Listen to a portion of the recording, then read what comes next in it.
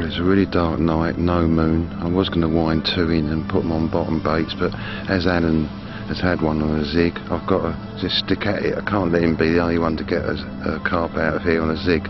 So I've just wound one in and I'm going to try one of my prototype glow bugs. So if Winston, the famous cameraman, would turn the light out, you might be able to see it glowing in the dark. Do do do do do do do do. There you go people, look at that, isn't that awesome? A glow in the dark zig bug. There's two ways you can charge him up. You can charge him up with a torch or UV light, but I'll give you a little tip. The flash on your camera really zaps them, makes them bright. So let's chuck it out and see what happens.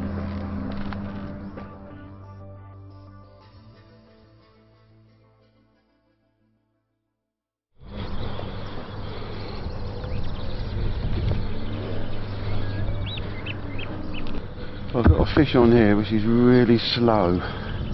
It kind of starts shaking when you get one that's really slow and plodding because it's often a really good fish.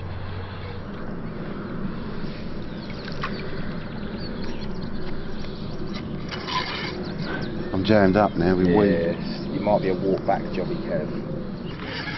Go on, that's it. Okay? Yeah. Oh, what a mess. Need a floating mono here, not XT. It's too blowing damn good. It gets in the weed. Ah, it's a big, it's common. It's a big common. No. Yeah, yeah, yeah, yeah. Well, let's let it play out a bit more then. It still wants to go. Now I am nervous. Why'd you tell me that? no, you'll be doing fine. It's fine. It's fine. Meanwhile, Alan at the other end, he can tell his story later. But he's got a couple in the net. Uh, I will also say the cameramen were only three metres away from his bed while he's having all this action. yeah, another go. Right, it's the first time it's actually come up.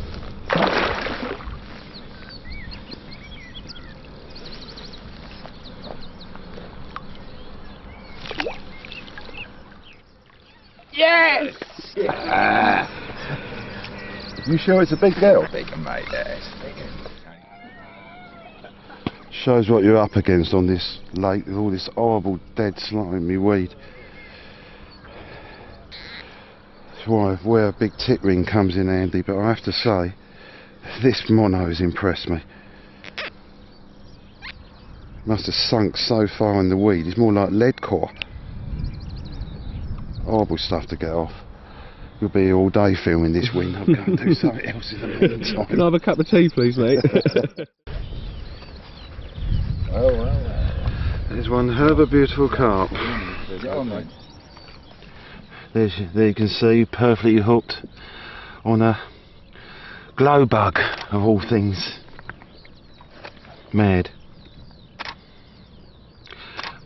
I woke up just as getting light and I nearly wound me glow bug in, but I thought, I don't know, low light. I'd won a few weeks ago on a glow bug just after dawn. Yeah, I think there may be something in it. You know, you these are conditions you wouldn't expect expect a zig to work. So we've got so much to learn still. Maybe it's the colours of uh, you know that bug, even though it's not dark. There's still something that hits the light right. Well, it certainly worked for this girl. She's a well-known 40, although she's been out this year under 40. So I suspect she's a bit under, but who cares? What a result.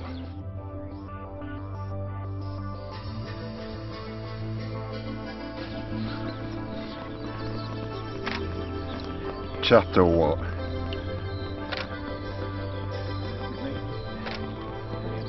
Yeah? Alright. what we got, boys? 38, Yeah, 38, 8. 38, 8. Yeah. On the watercraft angle, you know, as you know, I was over the other side yesterday. So I come down here and sure enough there was the odd fish showing. In particular I saw one lump a couple of times over the far bank about two thirds of the way out. And I had a black zig bug on it in the day, um, but nothing.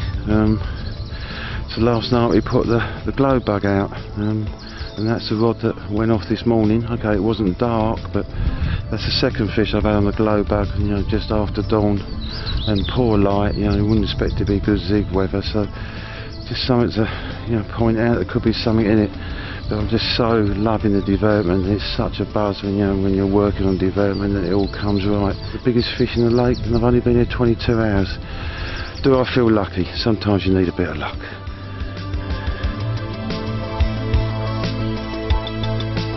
This is a, a ghosty. It's got some beautiful big scales down here and a lovely run of linear scales right atop its top, across its top flank.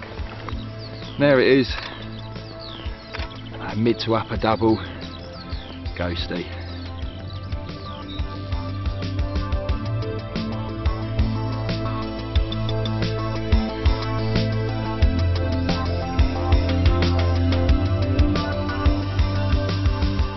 a zig bug. Another one of the louse. I really like this pattern. How near is that zig to the surface? Because the riser pellet's been drifting over it. Yeah, right under, mate. Literally right under. I've got three rods fanned out in sort of an arc, and that arc is is on the line of where you've been drifting the pellet for the last hour and a half. This is what I was talking about yesterday. Yeah, you can use a riser pellet to get them up. They won't maybe come up that last foot to take it, but they're right up in the zone just below. So fish as a zig a foot below the surface can be really effective, as Anna's just proven. You can see it. I don't know, Wing. Can you see that? Well, this is my left-hand rod. Can you see the slick running straight down, not the centre of the lake, but diagonally across the lake? That's the riser pellet.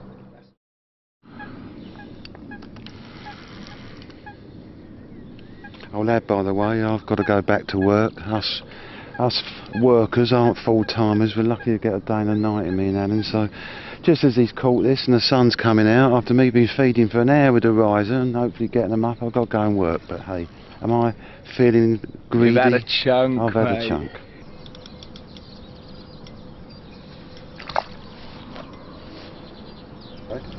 The other side, she's in amongst them, right?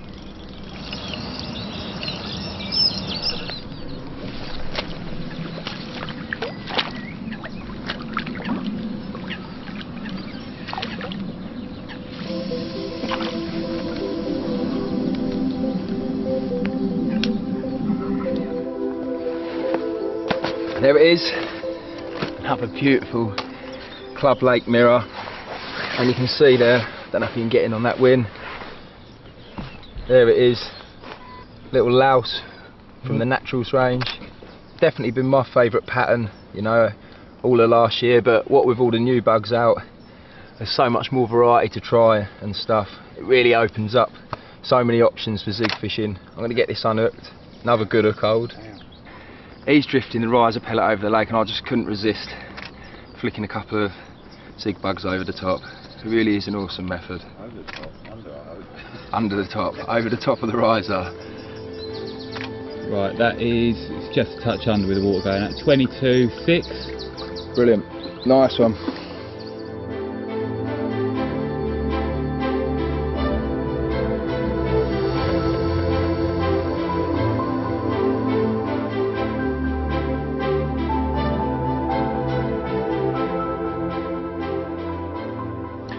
We've come to the end of our short session, and well, yeah, we've had a bit of a result.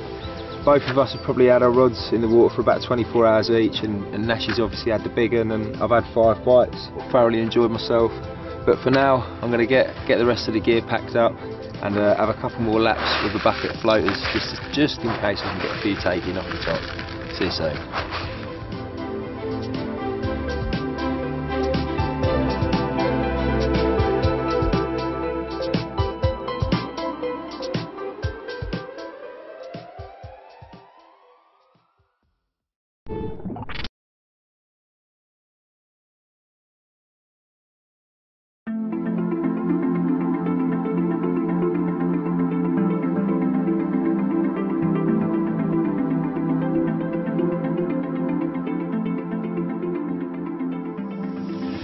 Exciting new bed chair innovations to show you, and I don't think any are exciting as, as much as the one I'm sitting on at the moment, the new Indulgence Tall Boy. It's called the Tall Boy because how tall it is. Look, I'm swinging my legs here, and I can't touch the ground.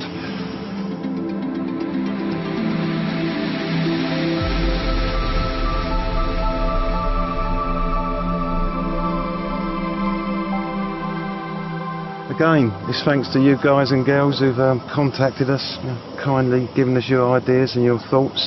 Uh, and one thing that constantly has come out is that you want a much higher bed chair in the same way that we brought the uh, Daddy Longlegs chair out, I guess.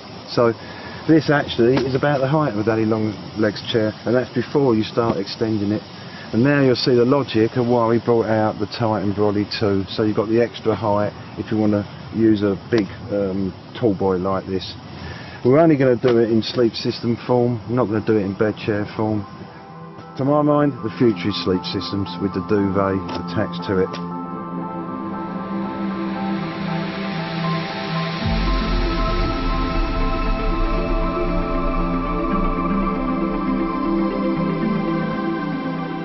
So, what's the Z bed about? Mainly, it hasn't got a hand wheel. That's the key. It's just got a hinge there, so it's perfectly flat. There's no uh, great lump of hand wheel sticking up, and there's no great weighty thing.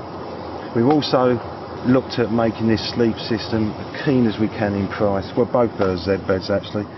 So it's an exercise in making a realistically priced bed.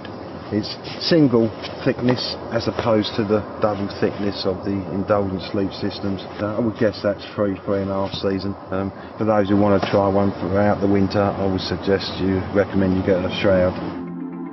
How do you fold it up? Because we haven't got a hand wheel. That's the other reason for using hand wheels, because they hold it locked together. With this, it's simple. Got a webbing strap. Pull that in, pull that down. Now look, I can't get that any tighter. You couldn't do that with a hand wheel because of the configuration of the teeth. So I think it's a much better way and a much more compact way of storing a bed chair. We've also got a bed chair version, which as I said goes against everything I've just said, but we have to recognise a lot of anglers still prefer a bed chair. Immense value for money, you know, it's actually a bit longer you know, for tall guys, not the Europeans, and it's wide boy width. I think a great new concept, worth considering.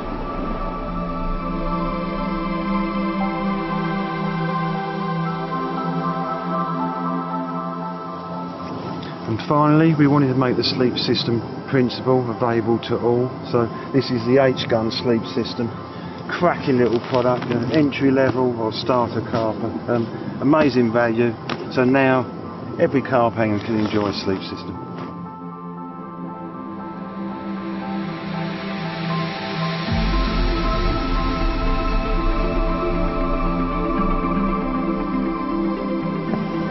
Last but not least, some uh, improvements and innovations to our frostbite sleeping bags to tell you about. Um, firstly, the outer material. This material has just become available. As soon as I felt it, I thought, oh, it's gorgeous. It's so soft, really light, and super waterproof. So that had to go on the frostbites. We've changed the filling. It's now got the I think world acclaimed holofill, one of the best uh, materials for insulation. Those are in both sub zero and sub 20. We've got the sub 20 here. Um, that's the one for those of you don't are new to Nash with the two layers. So in summer or warmer weather, completely un- uh, undo and take off this top layer. So you just sleep with the under layer. In winter or cold weather, you just zip it on. So it's a twin layer bag, much easier than you know liners that fit inside messing around with Velcro. But I did that for 15 years and come up with this idea and could have kicked myself. It's so simple. But this also has another simple idea that I don't know why I haven't come up with before. I'll explain the thinking. Um, good sleeping bag design is about making the sleeping bag as close to your body as possible. Some of the mountain ones have elastics to cling to your body. Then you're not trying to heat up air you know, cavities, whereas anglers want loads of room. So that's why we have to have so much insulation to try and heat up all that airspace.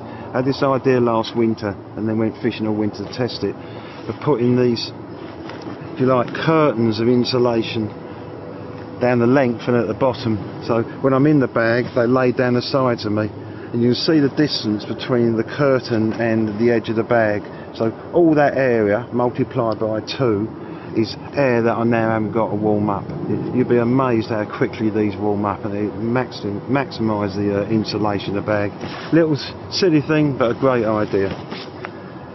The Frostbite Sub-Zero uh, has not got the curtains by the way, so the difference between the Frostbite Sub-Zero and the Sub-20s is a single layer a four season bag and it hasn't got the curtains, but it's got all the other features I just spoke about.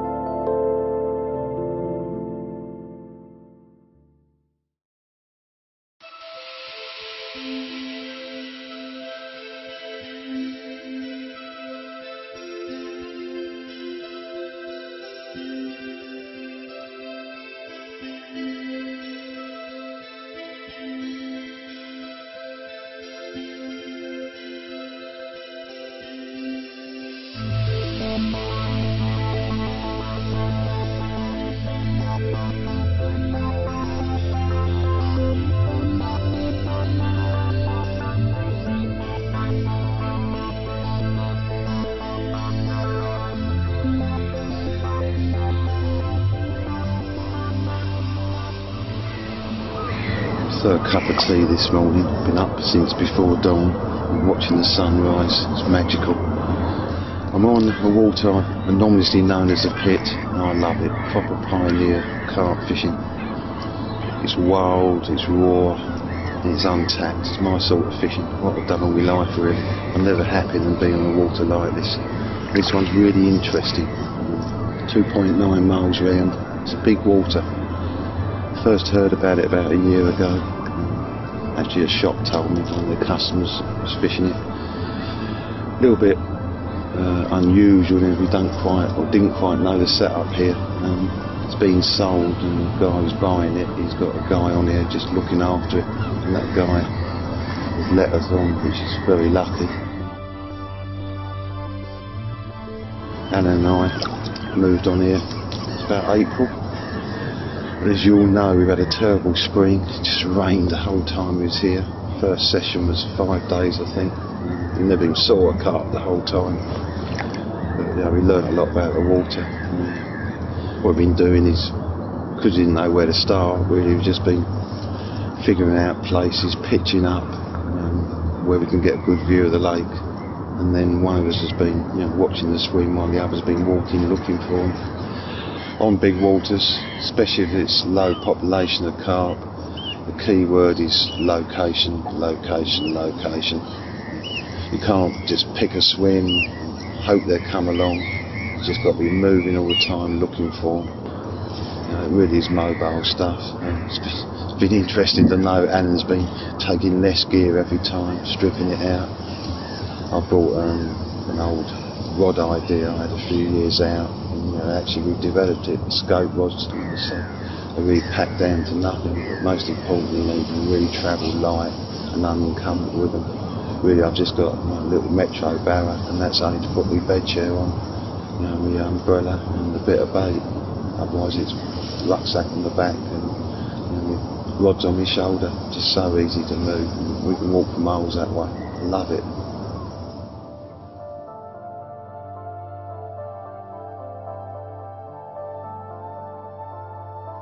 Four sessions, never saw a thing. And I think it was the fifth session we saw our first car. And we probably put in a total of 20 odd days to get to that point. I was really excited just actually seeing one. Um, then the sixth session, I got my first one, uh, common. I know what his weight was now, it seems so long ago, 12, 14 pound.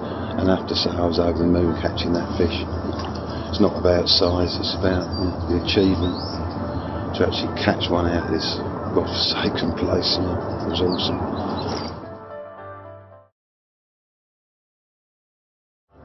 The bottom of this pit is just mind blowing. You might be in two inches of water, you might be in six, seven foot. It's up and down like a yo-yo. It's for me difficult to get my head round. You know, across here, there's channels, bars, islands all over the place. You know, it's a question of trying to figure out the ones that carp are using to get through you can fish a drop off. I think, wow, it's great, but you know, can the carp get to it? You might be fishing in a room with locked doors, as it were. You know, it's been a right headbang trying to plumb it and you know get round it. Uh, how we've been doing it really is a lot of short range work because uh, often the deepest water is just um, a few metres out you know, along the reeds and then it really shallows up. But you know, a lot of shortish range work. Um, wading the baits out actually, using prodding sticks, um, wading out along the bars, just dropping them on the spot. I know you can do it, there's no more accurate way.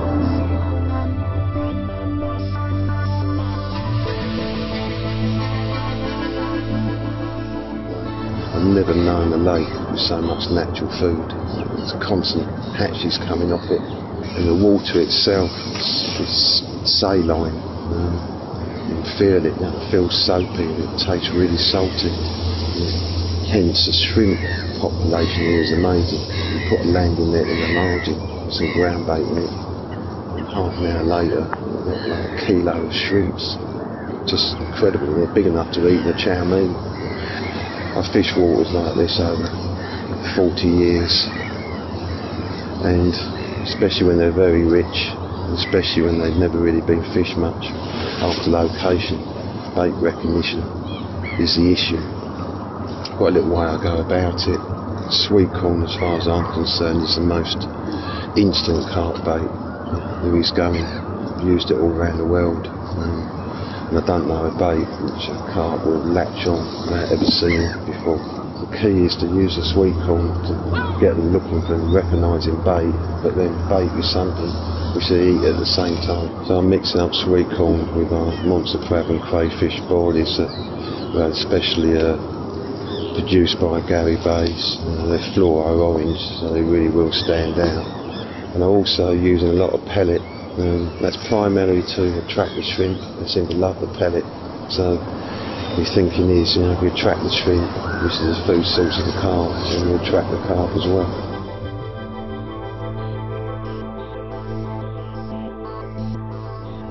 Rig wise, well, you fish a lake like this for a long time and not get a take. So when you do get a take, you don't want to lose it because the tackle's not up to the job. Strong, reliable tackle is key. You don't need fancy rigs. You know, these fish have never been hooked before. Like I say, bars up and down like a yo-yo. You need to get your lead jammed in one. And because of the bars, I'm using the diffusion camo leaders because of the abrasion resistance. Simple rigs as well, you know, strong hooks and just simple blowback rigs.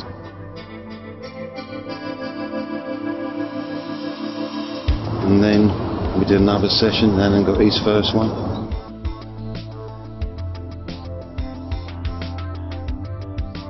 And then it all come right for us on the seventh session. We had seven takes. Didn't actually do so well on landing them.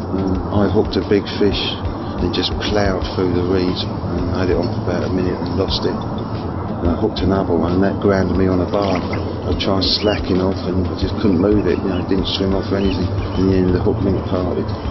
Then Alan got one, small common, I can't quite remember the series of events, but all I do remember is late afternoon. And he got a take and um, weighed out and hit it. And I just, just knew that was a big fish. I saw it boil off.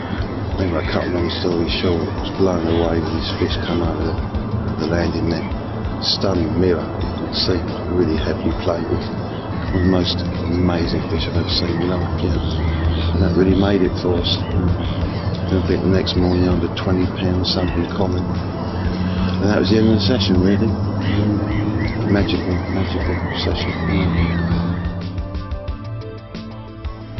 Finally, we was cracking it, you know, beginning to understand the fish, and everything was coming together, the plan was working. Uh, so we come down the eighth session, um, we actually wading around the lake, taking out some snags and that. And uh, the owner come round and asked us you know, what we was doing. We said, well, we got permission to fish here by Mr. X. He said, no, you haven't. You know, he hasn't got permission to fish here. So it's kind of um, led along a bit and we got chucked off. Amazing, really. Just beginning to get to the bottom of this place and uh, was asked to leave, shall I say.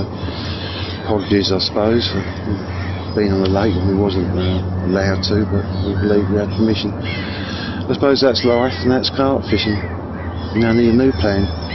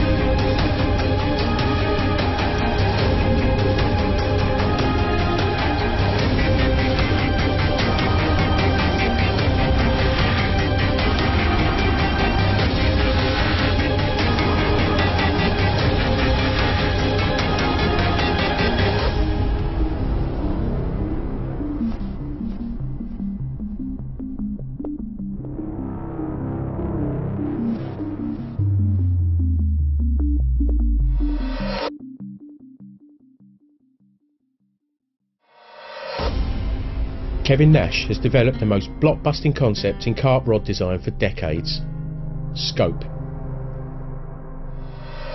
Scope rods are available in two lengths, a radical 9 foot version and the more traditional 10 foot, the preferred length of legendary carp angler Richard Walker.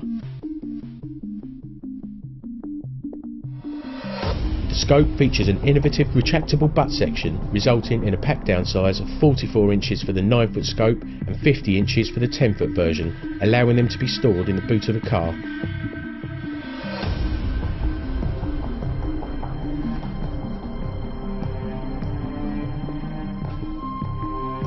Scope rods are easy to use in confined swims, they cast accurately and the through action makes plain fish a dream.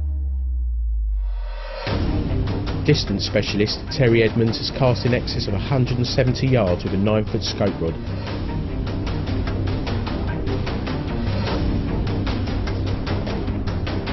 To complement the rods, Kevin has also designed the awesome scope landing net featuring a telescopic lockable pole that extends from 44 inches to a very useful 6 foot 10 inches. The scope concept is the most compact kit ever designed for carp fishing, the ultimate in mobility for the active focused carp angler. Scope for the future.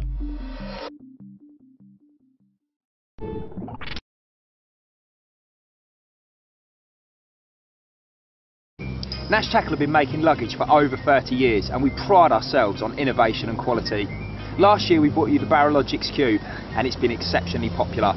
It made obvious sense for us to look at this concept and this year we're bringing you the Barrelogix Cube Compact. The Cube Compact is exactly the same as the Barrelogix Cube. Well, I say exactly, there's one major difference and that's its size. It's obviously a lot smaller. Let's open it up and I'll show you inside as I said, it's almost identical to the original with regards to the way it's laid out. You've got a large main compartment here, more than capable of taking tackle boxes, etc. I've got my two rod buzz bar pouch in there, tackle box, PVA, marker floats, etc. There's another longer, smaller compartment. I've got my stiff rig box, uni rig bin. On the left hand side, if I unzip this one, I've got all my bait. This is actually an insulated compartment here. So I've got a couple of bags of freezer bait in there, pop-ups, catapults, dips, etc. Uh, moving over to this one. This is where I personally keep all my little bits. So I've got a compass and head torches and binoculars and Polaroids. And underneath all that I've got my waterproof trousers. Flipping over to the other side, if I unzip this, I've got all my stove bits, I've got some gas, kettle, everything I need to make a brew.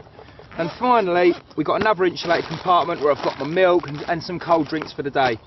So as you can see, it is a lot smaller, but it's still enough space there to fit the vast majority of anglers' gear inside. If I zip these both back up, the product can be completely detached. So that means the shoulder strap can come off.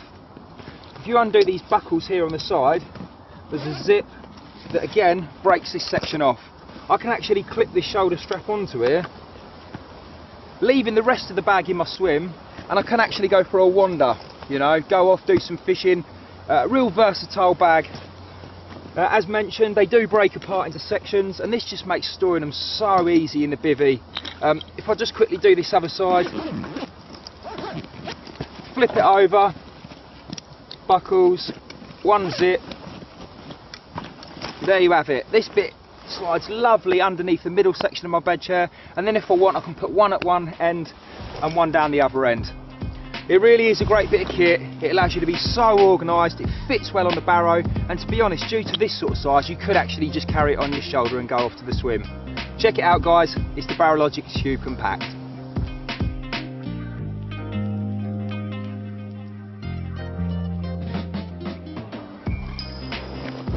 This is the big boy, and it's certainly big.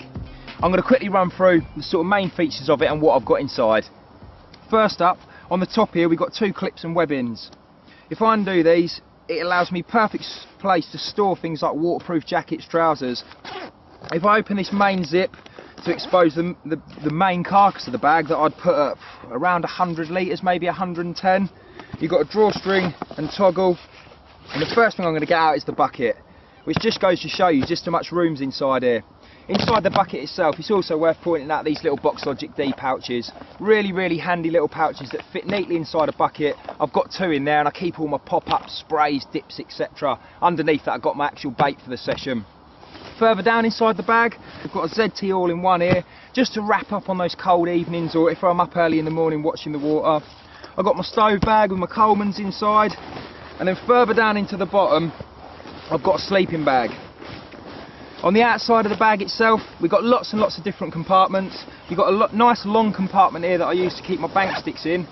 Sadly, it's empty at the moment because uh, although I am working, I have managed to flip my rods out. So usually I'd keep my sort of bank sticks, uh, bite alarms, etc. down in here.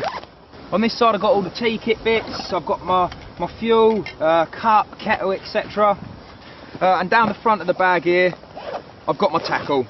So you can easily fit one of our medium boxes in there and you can also fit a larger one if you wish. So as you can see, plenty of back support there. Uh, this will wick up any moisture. Um, we've got two decent shoulder straps uh, and we've also got a wraparound waistband uh, and all of this will help support it on your back, uh, making carrying it to and from the swim a lot easier. I'm going to stick it on and then I'm going to head off back down to my swim. So we'll get this slung on my shoulders and just set all the straps so it's nice and comfortable. Uh, first up I'm going to pull these main straps down and set it on my back so it's nice and tight and we've actually got these lovely little mouldings here to make it easy so I've just put my thumbs in these and I'm just pulling it down and I want that to sit, the base of that to sit just here you know it's nice and comfortable there so it's lovely and tight. Next up I've got a chest strap just to pull those in and keep them really sort of taut around my chest. Again nice little buckle and clip that's that bit sorted. And finally my waist area just to finally pull it all in nice and tight.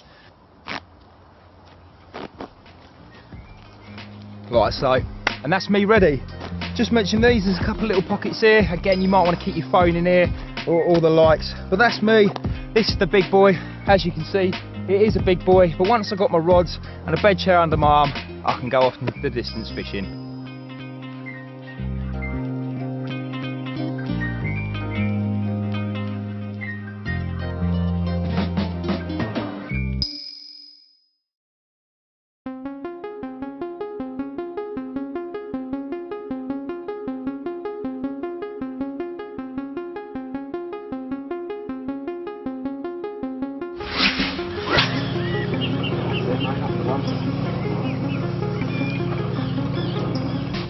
I'm Terry Edmonds and I'm here at Marsworth Reservoir to fish at range.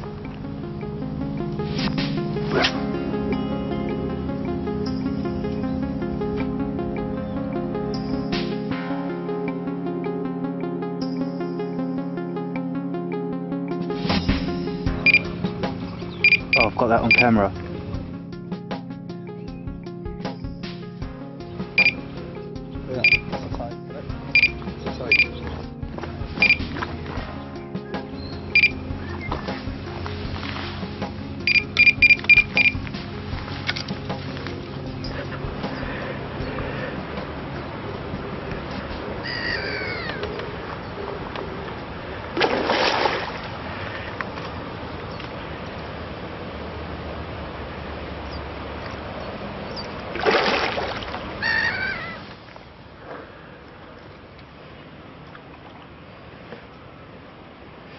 Of a scrapper in close, considering it was caught 150 yards.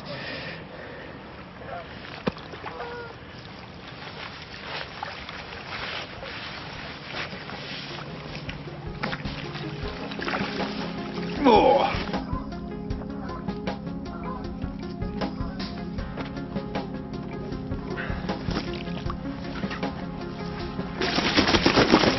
A little bit lively. And here she is. Mid double, I suppose, maybe a little bit bigger. But there she is. Nice old common. Fishing out there about 150 yards. So like a reed line. The Marsworth fish are, are all like this. They're all dark old ones, like the canal fish that run near to it.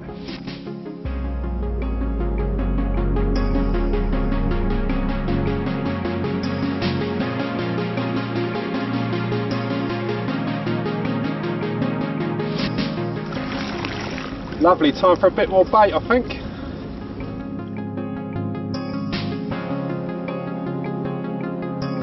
For this session I've been using this new Entity Spod Rod and I'm fishing the reeds over there about 140, 150 yards and it's like making that real easy work. It's a really nice action spod rod. It's got 50 mil ring in which I love for all my distance work. Like the handle length is really important on spod rods. I've got average size arms and what I like to have it is is the handle outstretched like that. That's really important for the leverage when you're casting. If it's too short it's hard to use. The action of the rod is like an all through action so it can be used short or long, no problem at all.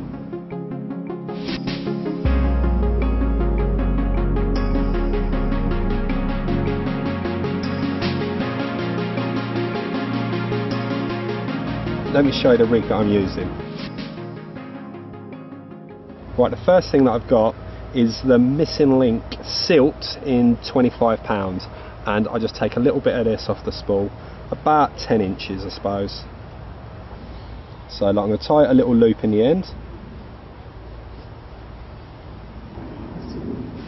And then what I'm going to do after that is just put a little knot in the hair around there. This stops the snowman from slipping backwards and forwards on the cast these are the new snowman pots that we're going to produce. This is the purple monster squid. And they've got a bottom bait in the bottom which I'm going to put on first.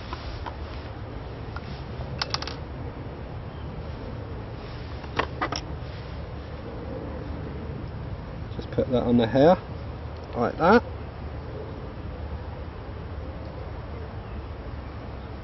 And then we've got a small like pop up in this other little packet here that makes the snowman rig. Just pierce that through the middle.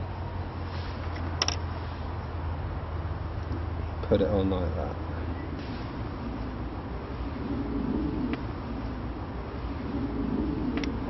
Right now we're going to put this hair stop just right in the end of the, loop just there. And that just makes our little snowman here like that I'm not going to strip back any of this coating at all um, because I want the whole rig to be stiff like the hooks that I'm using are the Fang-X size 8 and now we're just going to put it through the back of the eye and set it for the length of hair you want. We're going to go around one, two, three, four, five, six, seven, and that takes you to about level with the point of the hook. Then I'm going to wrap back up three times.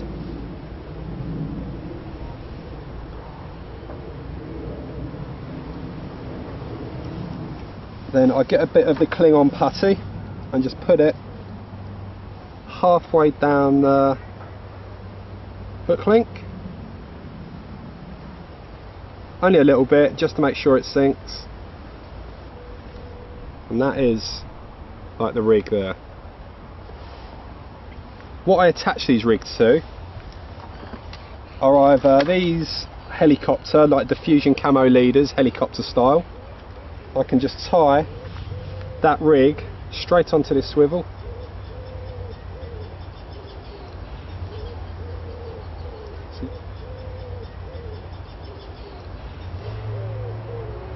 I'm going to just pull this tight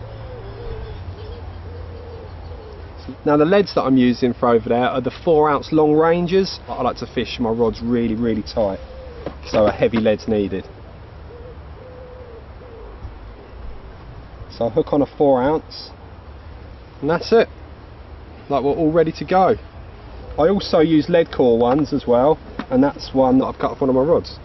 It's exactly the same as you, as you can see except that I'm using a lead core. And that's how I always fish at range.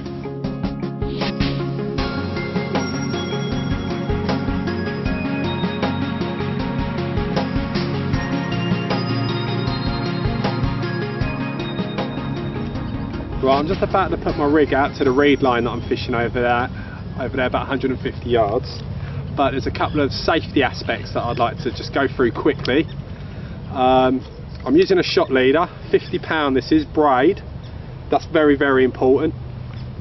What I've got is um, four turns on the spool, straight up the rod, down to the butt eye. That's the length of the shock leader. And something else I would say, like before you cast these distances, every single time just make sure that's done up tight. The clutch is done up tight because if that starts to slip during the cast, you're going to hurt your finger. Right, what I'm going to do now is just run through a cast. I know you've seen it before, like on other DVDs and stuff, but I'll just like remind you of the basics. Like before you cast, you want to get your arms up high. Your arms up high. Remember that you're using the rod as a lever, so you're pulling down with the left hand if you're right-handed. Line yourself up, everything nice and steady, and then you cast.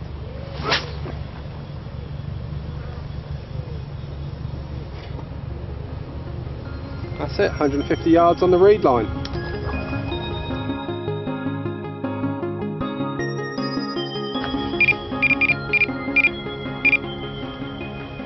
Right, the rods that I'm using today, like I have been for the last year, are the 13 foot 3.5 NRs. Really, really happy with them. They are fishing rods, they're not overly stiff and, and they can be used from long range to short range. They're just top quality blanks.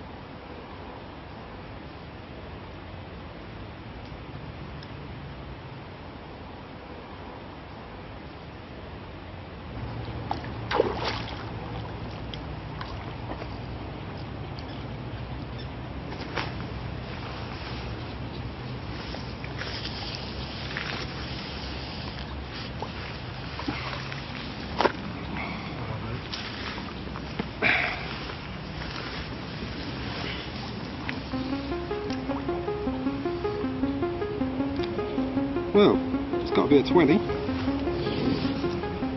Give it a thumbs up.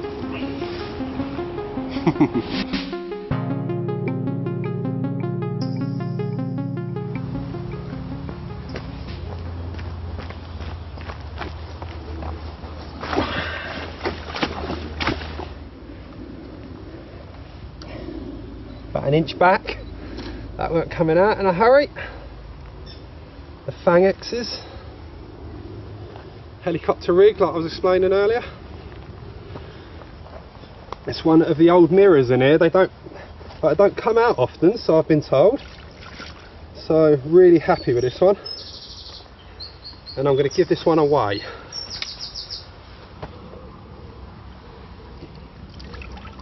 Twenty-five dead. It's looking like. Just so you can see it. I'm shaky a bit.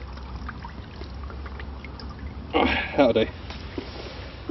Right, really happy with that one. One of the old mirrors out of here. Um, like I don't get caught often, so I might put this down to my long range fishing. like they think they're safe out there, but I'm after them. So let's have a look at it.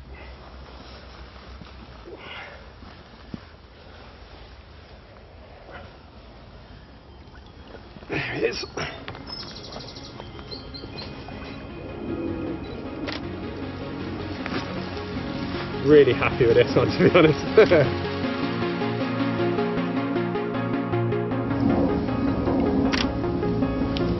Right, I'm just going to turn it round.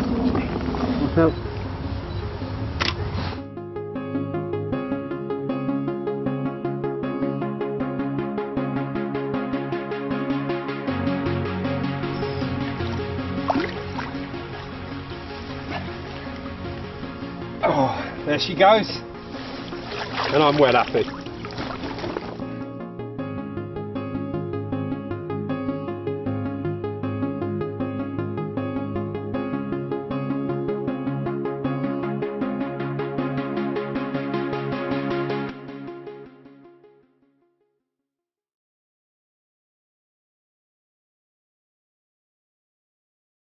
Lot of you guys and girls come on my Facebook with a you know, large number of different questions. Um, one that keeps on coming up all the time is about main lines. The big question here so much is braid or mono. So let's start with that. Braid. Of course we do the famous bullet braid. In tackle box sales it's the biggest seller and we never advertise it. I think it's the biggest selling braid because it's so heavy and that is a massive advantage of it. You know, you don't need back leads or anything. In fact when you lift it up in, in silty water you feel it pluck out the bottom. So a massive advantage of a bullet braid is you know, your line is not off the bottom, it's completely um, hidden. The other uh, reason people like braid is because there's no stretch. So when, for example, you're casting out and pulling back to feature, you can feel everything represent you through the tip ring. So it's great for finding your spot. And of course, bite indication is so positive because there's no stretch. The downside of braid is the fact it's got no stretch.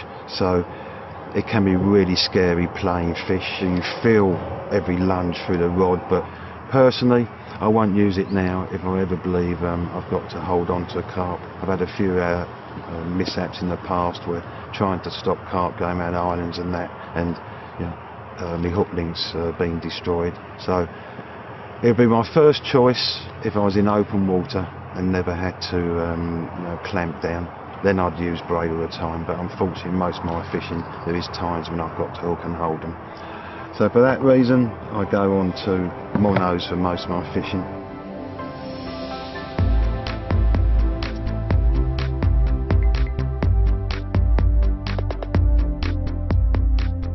now we do three monos I'll start with the Decam it's the mono I use and the reason I use it is because it's very strong, very reliable. Number one thing for me is abrasion resistance. It, it is to me the big one. You know, most waters now have weed in them. You know, weed is by its own definition abrasive. You know, you get all the snails and everything and grit in it. You know, um, it can really damage a line. You know, and that's about other other things like snags and all that. So I want a line. If it touches a snag, it's not going to just part. You know, because it's got no abrasion resistance. Other advantages over Decam over other lines is exactly what it is. It's got you know the NXT Decam. It's got a um, unique camouflage, you know, that just basically disappears on the bottom. Knot strength, diameter. It's probably you know it's up there with the best. Also very heavy as a for a mono as well. So again, it's getting towards a braid, but for me, number one is abrasion resistance. Then we do two others we brought out this new line uh, in the spring called Zig Flow primarily designed for floater fishing or zig fishing your first question I'll be asked is why don't I use the NXT Decam for that the reason is because we designed the Decam to be really heavy to, you know, to make the line as heavy as we could.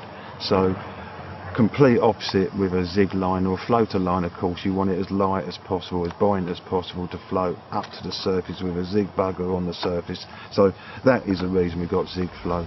So if you want a line for floater work you know, I'd recommend the zig flow. Then we have soon to be launched hardcore.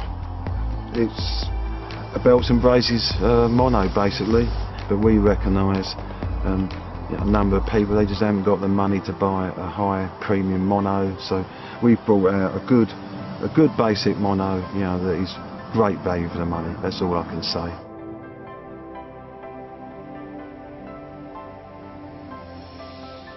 Apparently someone has been or some companies have recommended that when you spool up soak your spool in water firstly for 24 hours. But by soaking the spool of course you're expanding the mono and so you know, spools can blow up on you so I'd never recommend it. I'll go through the process of spooling up for all you. Firstly I'll use a bucket of water. Stick your finger through the label, that stops the spool tipping up. I never believe in putting the spool on the ground and having the line come off the lip because it might be going off the complete opposite way that it was wound on and that's one cause of line twist where it's logical if you're pulling the line off the spool you know, the spool spun to load it so it must go on the right way through. So you put the spool in there. Now on my reel you'll note I've sellotaped the line to the reel. I haven't knotted it.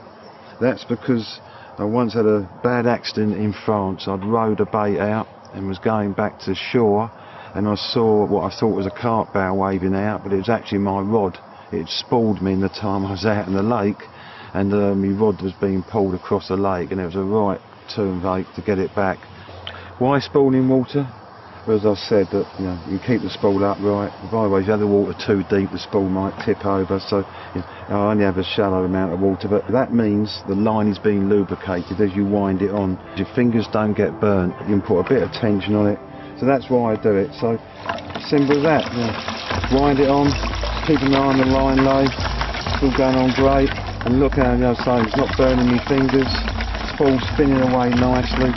So I know it's all going on the right way. And tipped over. It does tip over, just stop. Because I was going too fast. 'cause it's important you keep that spool going that way, then you don't get a line twist. And that's about it. So there you go, perfectly filled spool. And like I say, I can cast that all day long, you know, play a dozen carp, and that now won't drop down on the lip because I put it under with a bit of tension because I had the line wet. And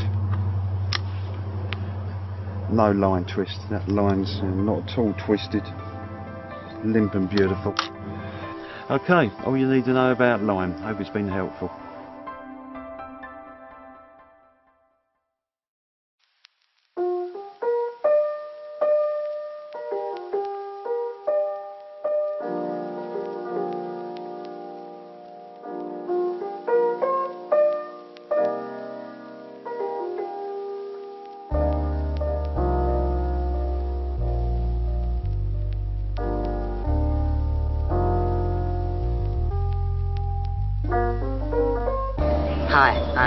Russell. I got down my local park late this morning, Hampstead Heath. Just bagged this stunning koi, and I'm going to slip her back. And we're going to hopefully show you around and catch a fish or two.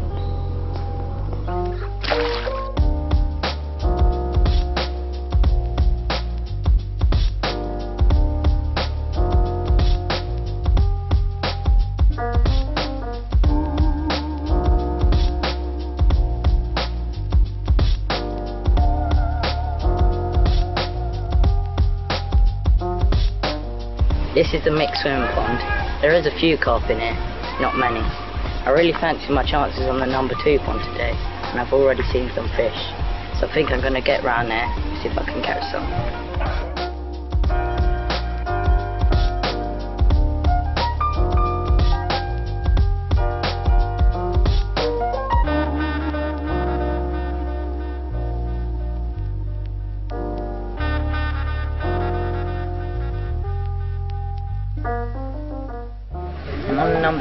Now. I'm going to trick some bait in under this snag. I know the carp love it here. And I'm going to place some rigs under there, see if we can nick a bite or two.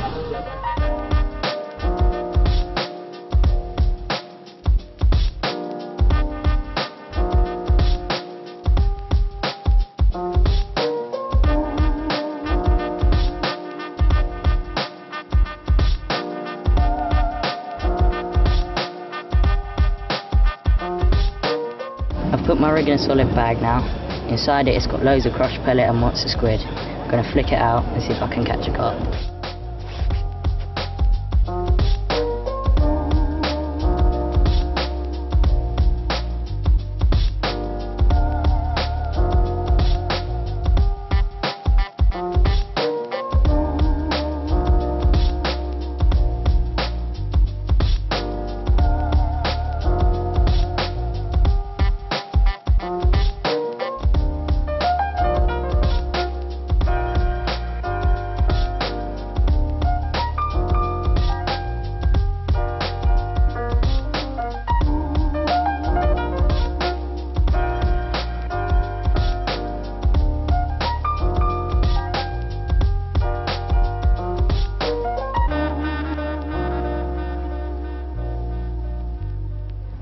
Because it's close in fishing today, I'm free lining. And just to help my line float that little bit better, I'm just rubbing a bit of Vaseline on it.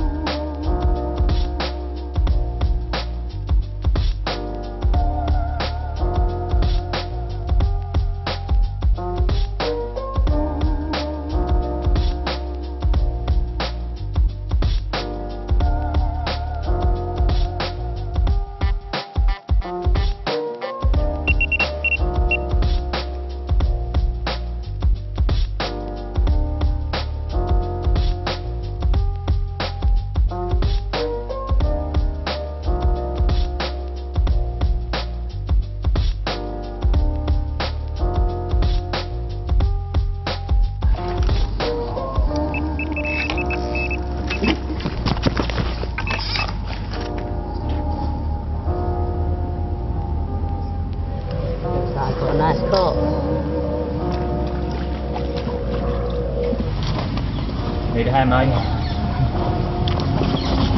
Looks like he's stuck in some weed.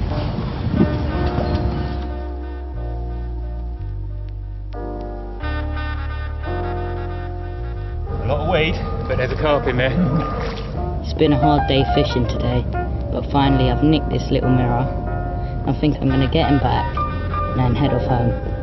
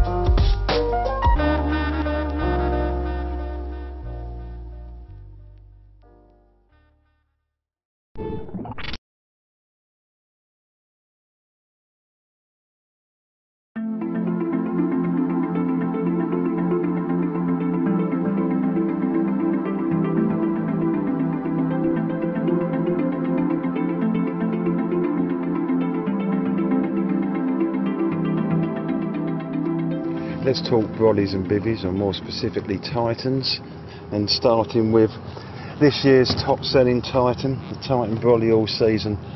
I've got it up today to tell you about one addition we've made.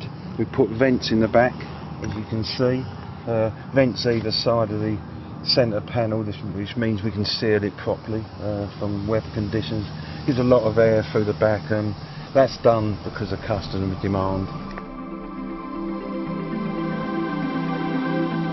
Why are they so fantastic, the Titan Brollies? Lightweight aluminium frame, super strong and the lightweight cover. And you unzip the waterproof front, you can put just a mozzie front, or you can take them both off and just fish it open. It's so versatile, it's incredible. To save confusion from the old Titan Brolly all season and its new version, we're going to call this the Pro with the vents in the back. So if it's a Titan Brolly all season, that's the old model without the vents. If it's got the vents in the back, it's the Titan Brolly all season Pro. One of the questions I'm most asked is how big is a Titan Brolly all season? Can I get a wide boy bed chair in it? So a few words on that. This is a wide boy in here. Yes, it's tight, but it goes in. I put it at an angle so I've got all the space at one side. There's ample space there for your rucksack, cooking gear, telly, whatever. A little bit of space there for a bag, and you've probably got about a foot across the back. Or if you've got a standard width indulgence, you can put it in square. But you see, there's plenty of room. It's compact, but it's very livable. Okay, but now I've got two bigger titans to show you that are new.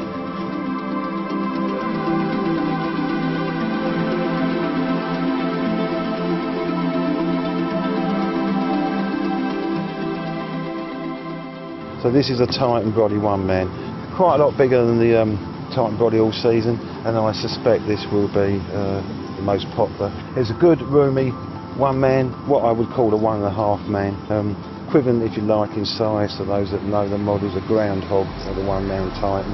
Again, preempting the questions I'm going to get asked, how big is it, can I get a wide boy in it? Well this has got our new Z bed wide boy in it, which is as wide as any bed chair, but it's a bit longer. So yeah, that's a, a harsh test if you like. And there's still plenty of room in there, so massive area in this corner because I've set it up the same angle as the, the Titan Brolly all season so you can get a comparison. Other than that, the only difference between the Titan Brolly all season is size. Two fronts, waterproof, mosquito, vents in the back, everything else is the same. Right, now on to the Titan Brolly 2.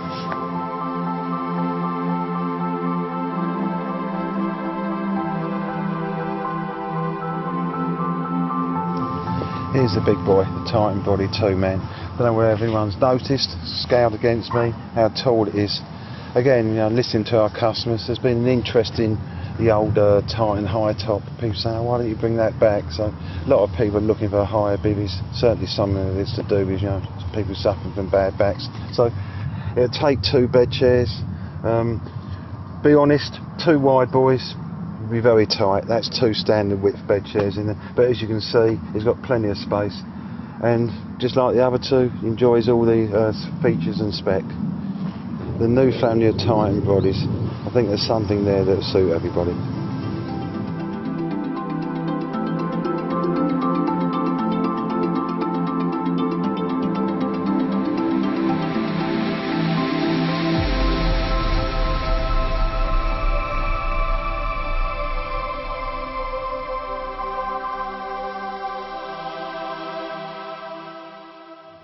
New family of Titan brollies excites me, but also this extra piece of innovation we've added to the hogs and groundhogs is a winner too, I believe.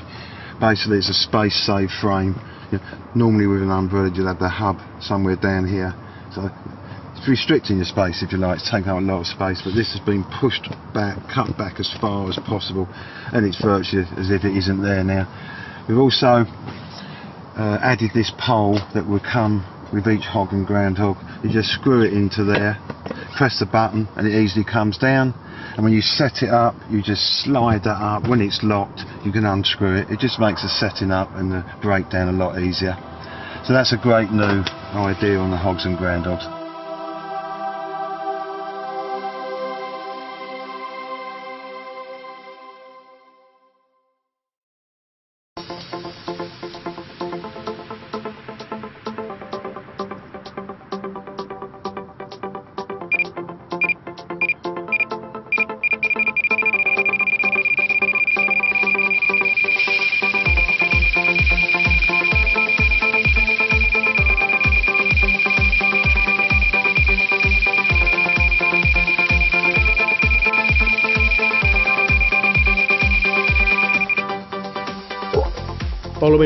The amazing success of the monster squid boilie, never one to rest on his laurels, Gary Bayes at Nashbait set about concocting a special high-vis version of this proven bait. It was codenamed Purple Patch. We had huge success testing the new bait in the UK last year. This year we sent it out to our European consultants and the results were incredible. In Austria, big carp hunter Christoph Eckhart showed that big Austrian carp were partial to the purple monster squid and bagged a superb chunky common carp of 26.4 kilos from a large working gravel pit.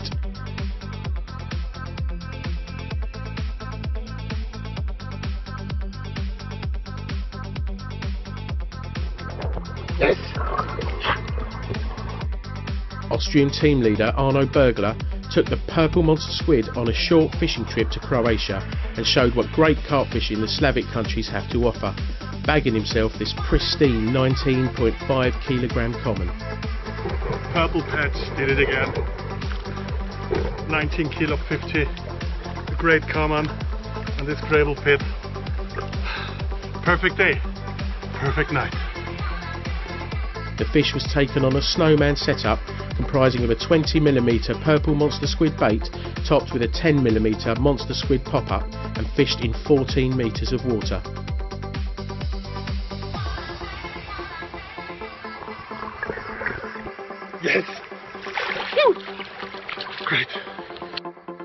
In Italy, the purple monster squid soon proved to be a winner, banking some enormous commons.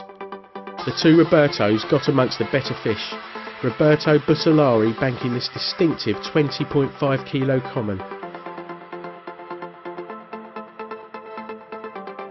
And the consistent Roberto Di Lorenzo appears again on this year's DVD after capturing this Italian giant of 26 kilos from a central Italian lake.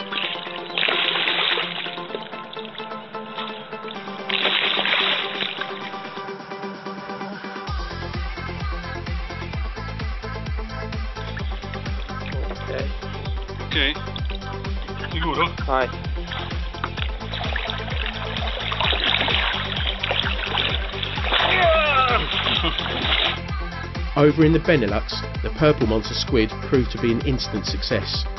Willem Verspoor had a bite within minutes of casting out on a Dutch canal to land this incredible plated mirror of 38 pound plus Yeah. and another fish during his short session.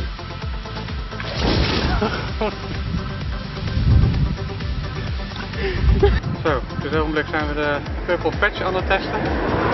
Nieuwe bolie van Nes.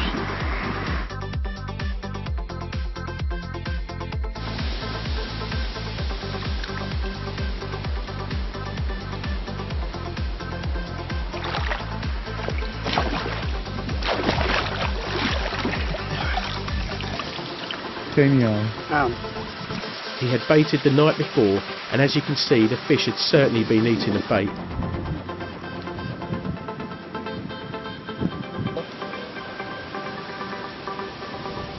Over the border, Belgian ace Mark Pansar also got in on the action, banking this very special mirror from a tricky Belgian venue.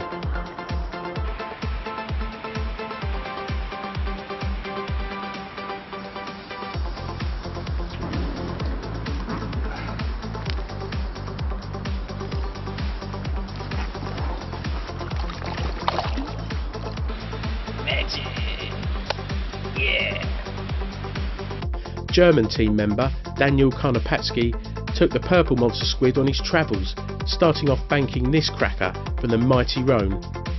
He then headed over the border to France, where within just five minutes of casting out, his purple hook bait was the downfall of a mirror of 17 kilos, followed shortly by another one of 20.5 kilos.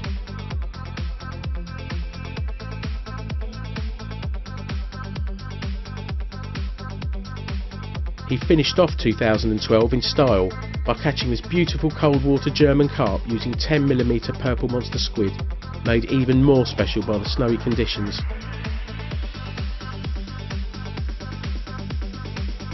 And now over to France, where Jean-Pierre Becker used the purple squid to great effect. He started off in great style in the spring, banking this lovely fish of 23 plus kilos, before moving on to a massive 550 hectare venue for the summer. He caught himself some lovely fish up to 20 kilos from this challenging lake using the Purple Monster Squid Snowman rigs.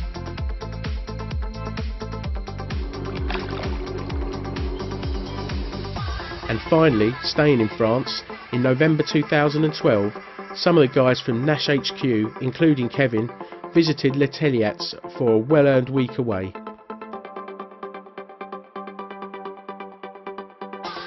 Despite freezing weather, the purple monster squid proved its worth, and there were plenty of fish caught to a top weight of 67 pounds.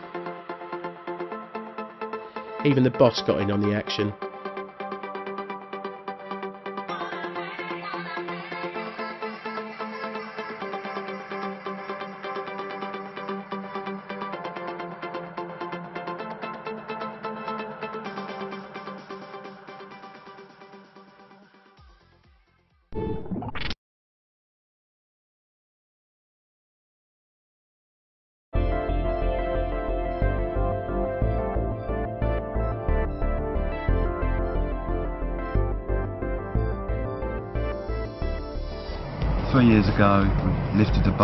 You like, pushed our luck with bringing out the carp cradles, as we didn't know whether anglers would accept them or get it, but the fact is you all have, and I think it's fair to say that now the carp cradle is recognised as the number one way of keeping carp, simply because the carp's suspended off the ground.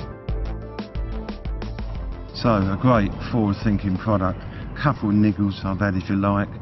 One was the hassle in setting it up and breaking it down, and the other was, you know, the real bulky thing and how it uh, sits on your barrow. It's been doing my head, but finally, um, I think I've cracked it. So we have a new range, if you like, of carp cradles, plus this one that we're calling the elevator. Same principle, but hasn't got the features of the carp cradles. It's really done on price with the view, you know, make one as cheap as possible, and then hopefully everyone will get on, you know, carp cradles. What's different? The difference is it's got foldable legs now. You don't have to pack, uh, set them all up. The main thing is just do that, fold it up, and you can carry it around. Is that easy or what? And another point is, of course, your barrow users, it's dead flat, so it's easy to store on your barrow. Pucker, eh?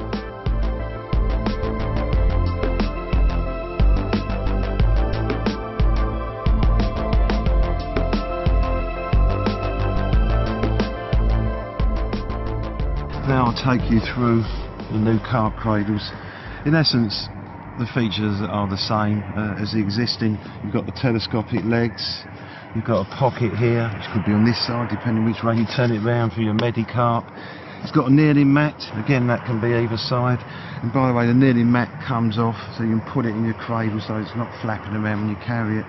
It's still got the flaps to you know, cover up, keep the fish in the dark if you need to, sort your life out.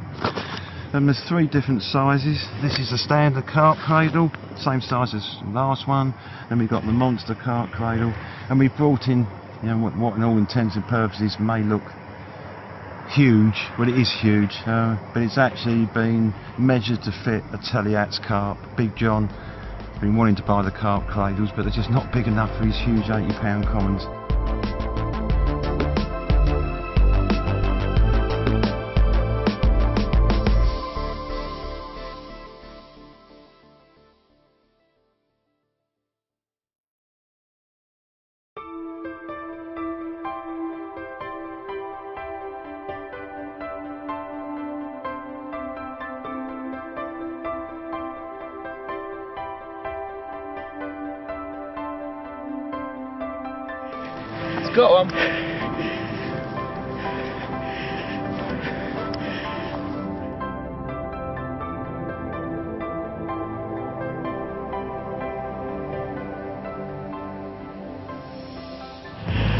Saying a lot because I'm nervous.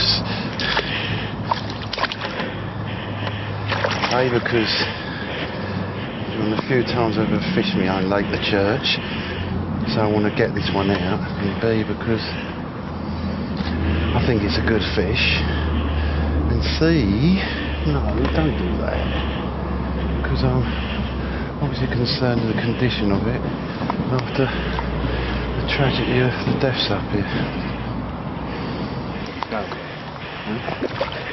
What?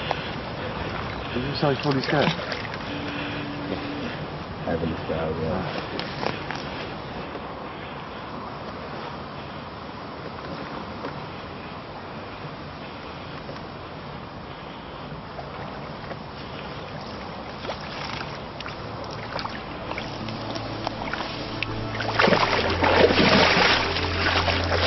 Well done, Alan.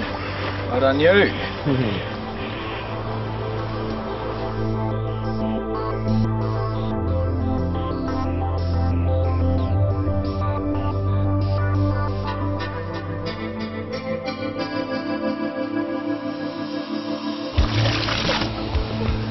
very lively, very.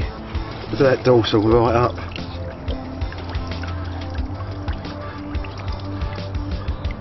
I want to get her back quick, yeah. She's in good nick, but yeah, they've gone through a lot recently.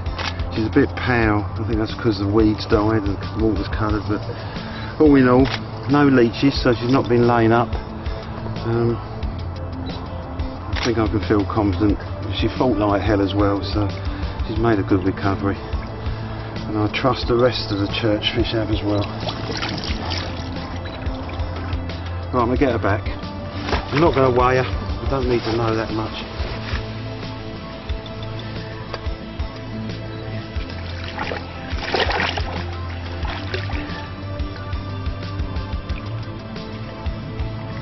Well, she's far away from me.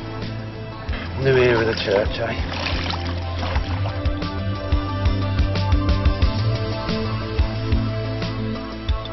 Nash's thoughts on rig selection. There's three key areas I look at, and from that I'll figure out the rig I want to use.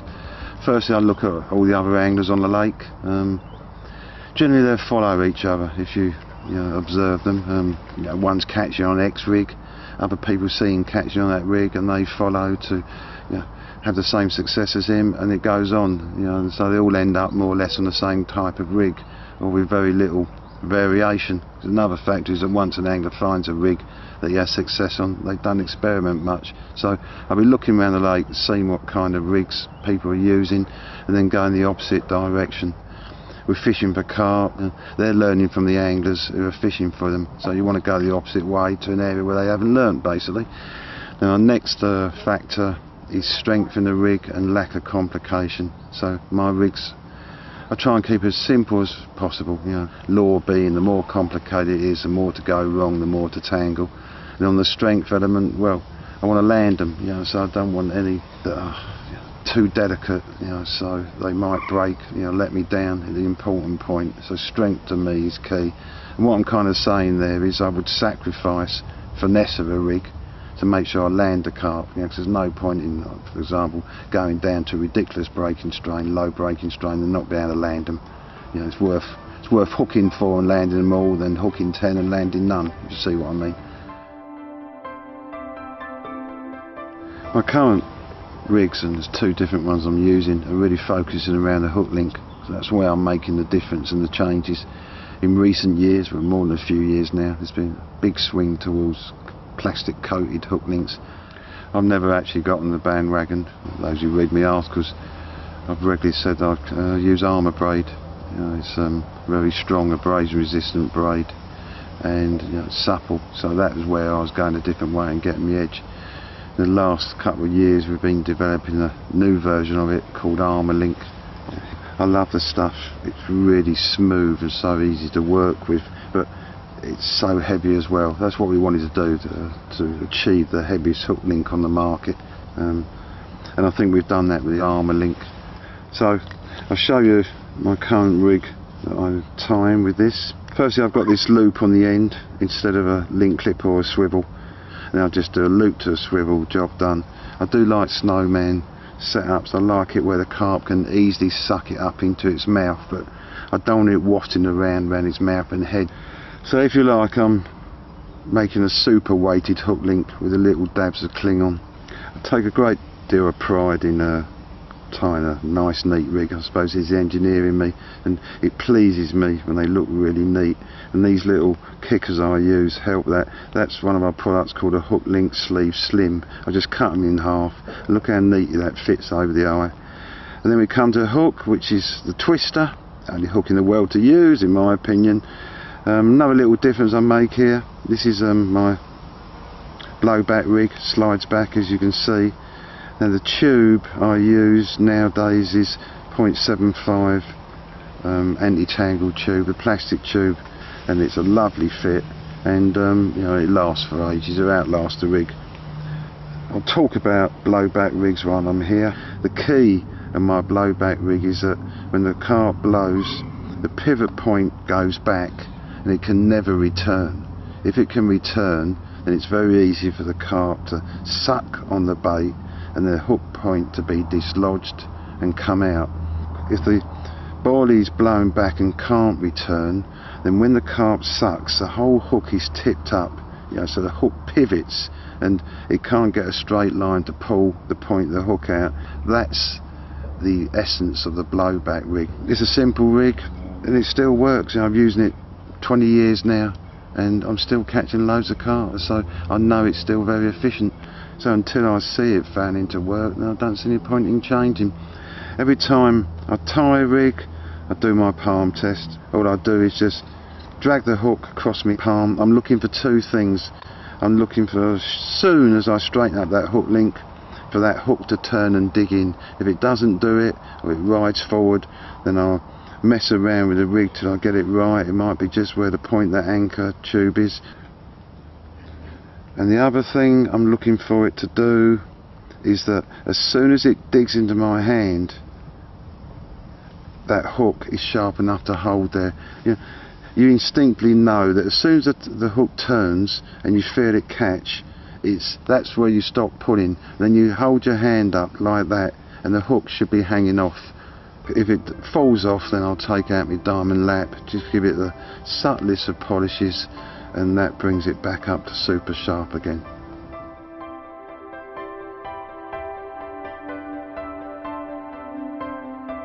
My other current rig at the moment I'm going to show you it's actually a rig that I first showed I think six years ago. Triglink is a major rig edge uh, and it's a major rig edge uh, for one reason that everyone hasn't piled into it.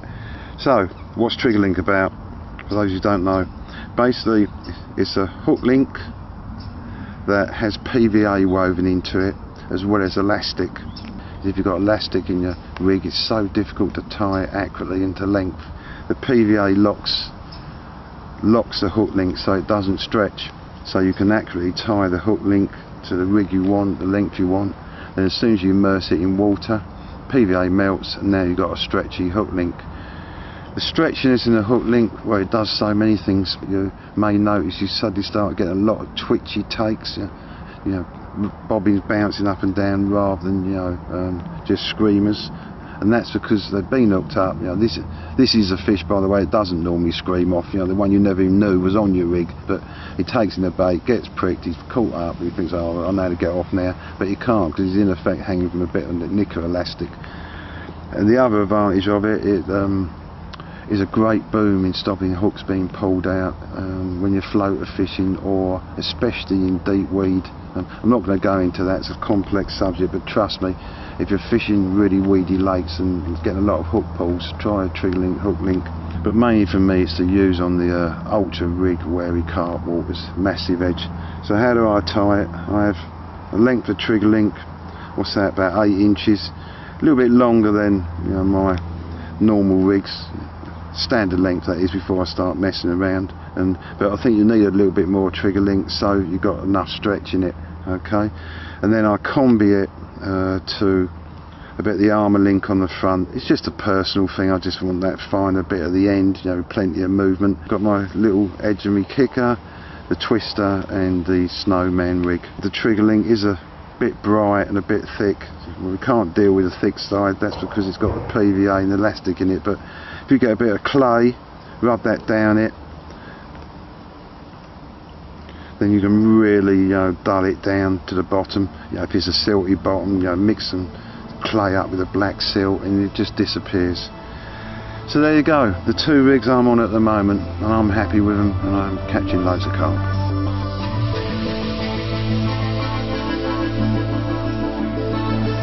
saw a couple of fish moving out of this bay so moved round and, and into a rather ploddy church like carp. There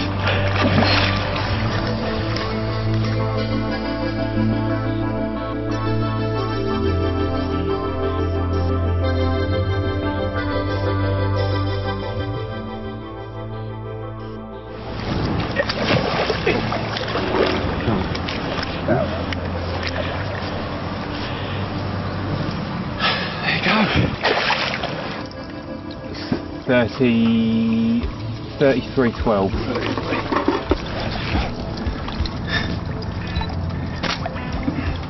Big smile for me.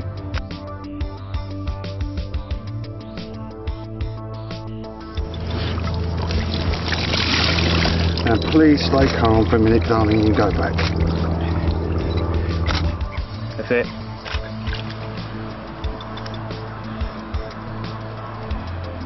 Go on girl.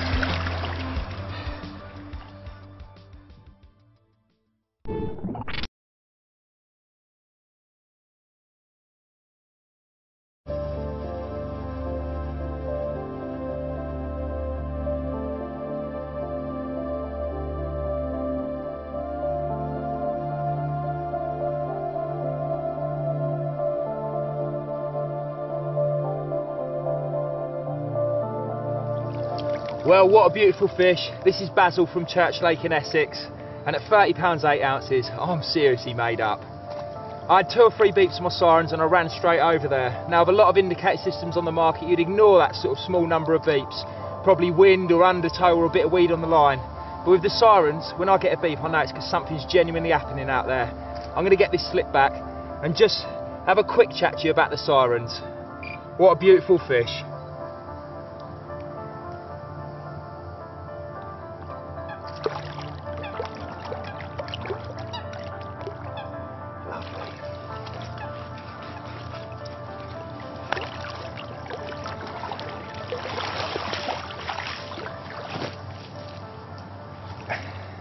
Sirens have been out for the last couple of years now.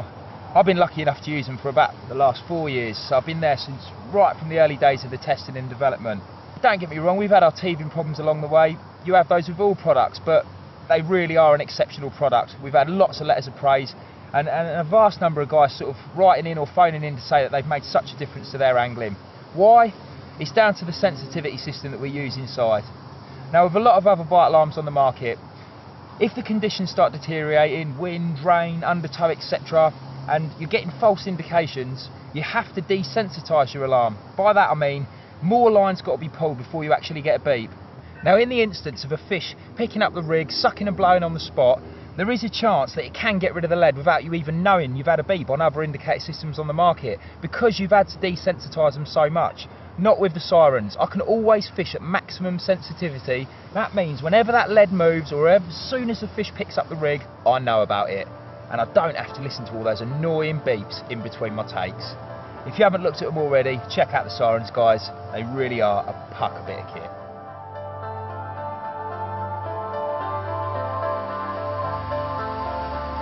Well, I've got a nice fish on here. It's a really beautiful carp.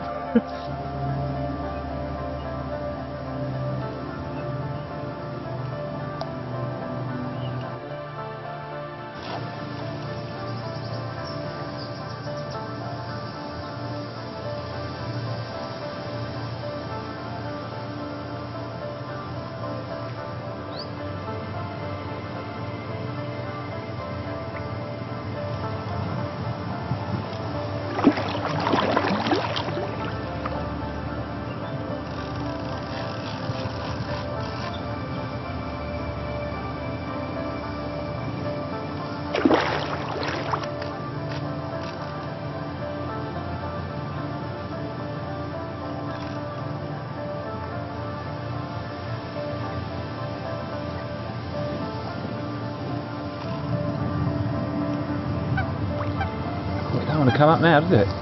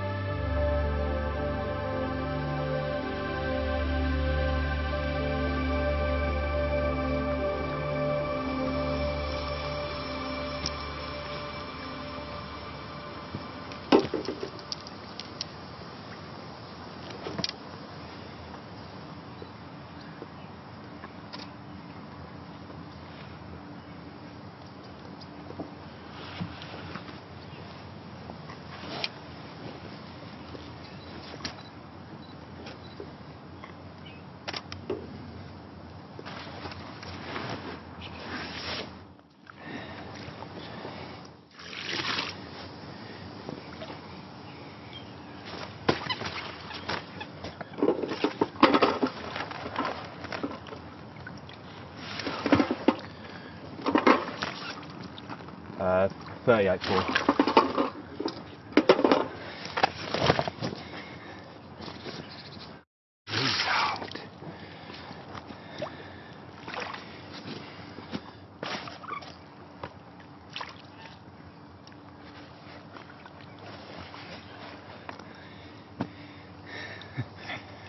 What a fish.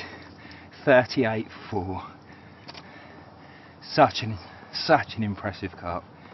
I certainly can't claim that the reason I caught this is because I'm so organised, but I can be sure it's helped.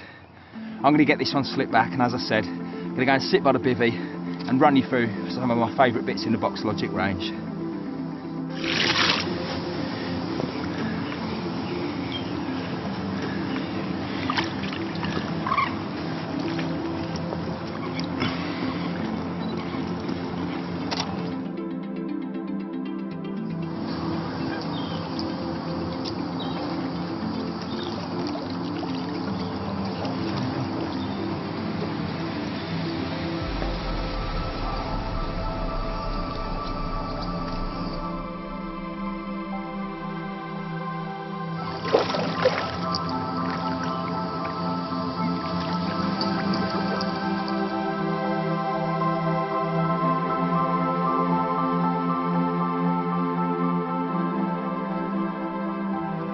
Tackle and other bits are something that as anglers we've all got to deal with and the box logic system really really helps with that. It's a large range that caters really for any angling sort of requirements. I'm going to kick off with the TT rig station. It's our blockbuster product within the Box Logics range. It's a large dedicated tackle box with legs that can double up as a bivy table. There's bolt-ons that can go on the side, a needle box and a critical balancing tank so you can test your rigs close to the swim. Internally you've got so many various compartments to store all your bits and at the front of the box there's obviously a drawer that can be pulled out to store your rigs. The next sort of box size wise down from that is a tackle station. Similar in design but a little bit smaller You've got two drawers underneath that you can whip out, again to store bits inside. You've got a large area within the tackle box itself that's broken up into various compartments that you can configure to your own design. And there's also the ability to use it as a bivy table in that it has got legs that fold out. And the final large box within the Box Logics range is a bivy box table. It's been specifically designed around the medium tackle box. Again, it doubles up as a bivy table. The tackle box can be stored inside it, and there's also a drawer to the right hand side to keep other sort of accessories and bits and bobs in. That's the larger boxes required, but as well as that, we do two standard boxes. One medium box, one large box. Bog standard tackle boxes, but built to a high quality and they will last. There's also various smaller boxes and accessories that can fit inside any of those larger tackle boxes that I've just described. We also do a couple of bivy tables. The first one, the bivy table, it is just that. It's a great little table to fit inside your bivy, but it's a little bit more than that. Just like the TT rig station, you can also build bits onto the side of this, one being the critical balancing tank and the other a needle box. On the front of the bivy table, there's also rig retaining loops where you can keep ready tied rigs in, in a nice, easy, accessible place for when you want to change your rig, maybe after catching a fish. As well as the sort of bog standard size bivy table, we've also got the bank table. You could get a TV on it, you could eat off it. I do a lot of sort of general fishing and it's great for putting numerous bait boxes on it uh, uh, and the like.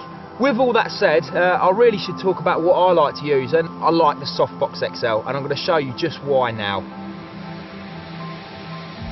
So this is it, the Softbox XL. We also do a smaller version, just a standard softbox, but for the amount of bits I take, I've had to use this larger one. If we open up this first compartment, you can see I've got everything nicely organised inside. I've got my PVA, I've got my needle box with all my needles inside, hair stops, etc.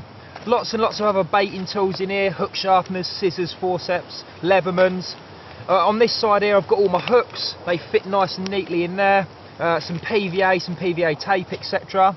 And then over here I've got various small com compartment boxes, some slim, some shallow, uh, and here I've got the chod box, which I'm sure you've probably seen before. Uh, great little box for, for keeping your chods all nicely, uh, neatly curved inside.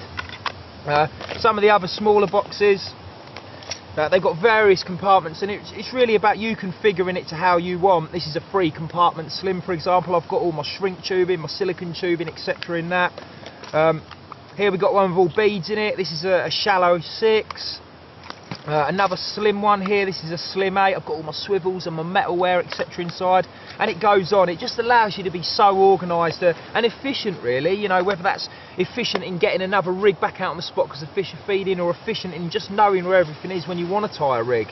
If I flip over to the other side and unzip this compartment, first off we've got a rig board Again, I can keep any rigs uh, I wish to uh, neatly and, and, stretched out on this. Uh, and further here we've got a number of wallets. Now I use these as sort of a dumping ground when I'm changing a rig, maybe after a session or for the start of a new session.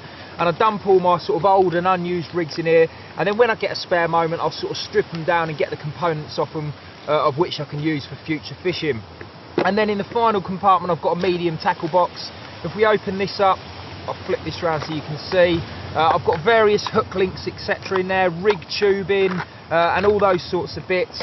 Uh, that can be folded up and then I've just got some lead core and stuff uh, filtered down the side. So as you can see, one softbox XL and I've got absolutely every item of, of terminal tackle I need uh, with inside it. Not little pouches for this and that. Well I say that actually, there is one more pouch I want to show you and that's my dedicated leads pouch. This is the lead box deluxe, and I tend to keep all my leads inside it just so they're not rattling about and smashing things up inside with the rest of my terminal tackle. If I flip it open, you've got a compartment up the top here, I keep all my back leads inside, and then some smaller pouches that allows you to separate your leads up. So for example, in one I'll have inlines, in another I'll have long rangers or flat pairs, and again it allows me to be organised. I don't have to rummage through a load of leads to find the one uh, I'm after. I can just take out one pouch and grab the lead I need. And just finally guys, there's one more product I've got to point out to you, and that's the Uni Rig Bin. It's a dedicated product specifically designed for zig rigs, but you can store any supple hook link rigs on it. It just allows you to wrap any length of zig rig round it, put it under a bit of tension and then pin it in place. Uh, great for zig rigs, great for long floater hook links. Uh, sometimes I even wrap the odd wire trace around it in case I'm fishing the water where there might be the chance of a big pike. So all in all a very versatile product indeed. As I said at the start of this piece with that beautiful carp, being organised is important in your angling and for sure if you can get yourself organised and understand and know where everything is, it'll help you put a few extra fish on the bank.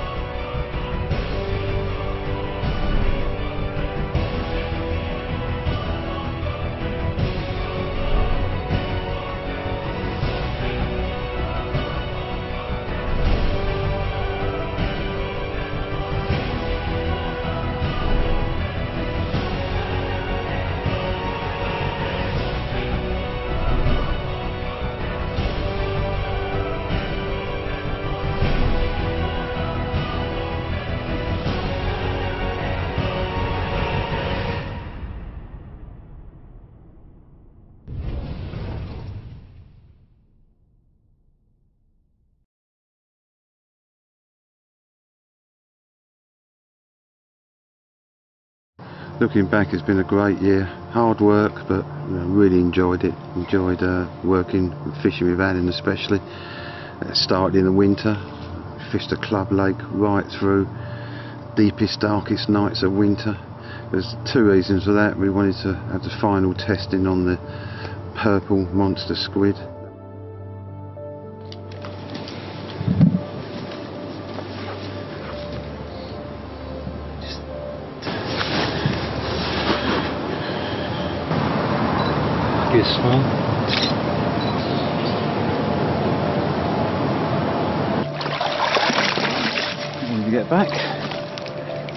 after some more purple patch. The other reason fishing through the coldest months was I wanted to test technology like those um, curtains I you know, showed you earlier on the sleeping bag. You know, all those thoughts to test, and the only way to do it is to go out there and do it and test them properly. So learned a lot from the winter's fishing.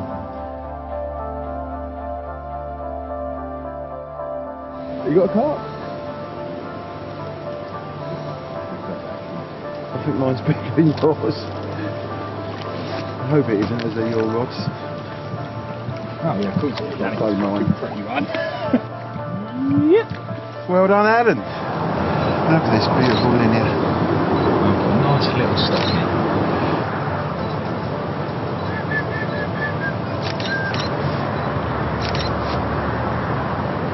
as far as I'm concerned, any carp in winter is a good one.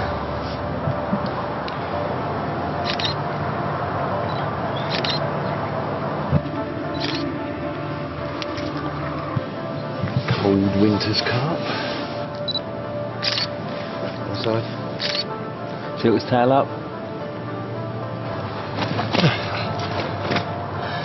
Got water on your face. I'm getting showered here. Awesome winter brace. Look Yeah. at that. Two beauties. With water running down my nose.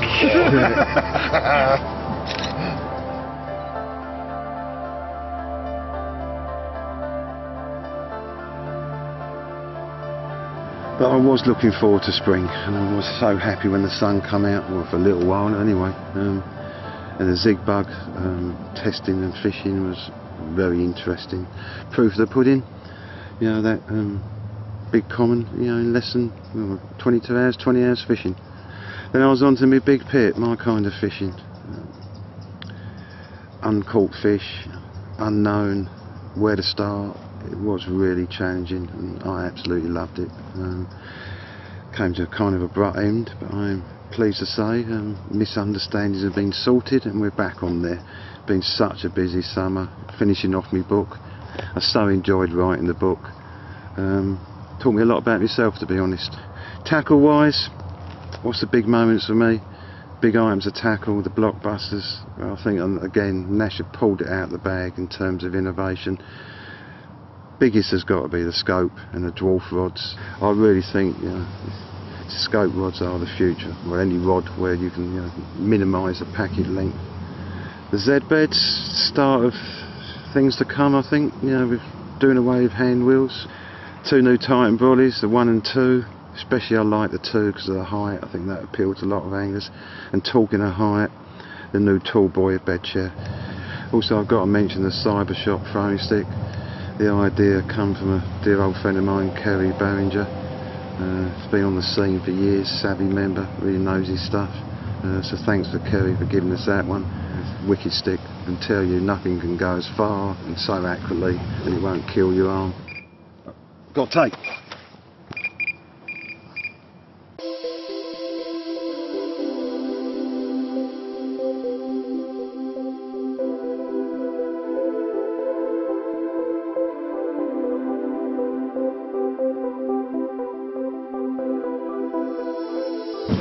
Was just about to go home. Enough of this filming. I'll go and get a take. What a lovely way to end. First session on the church for two years.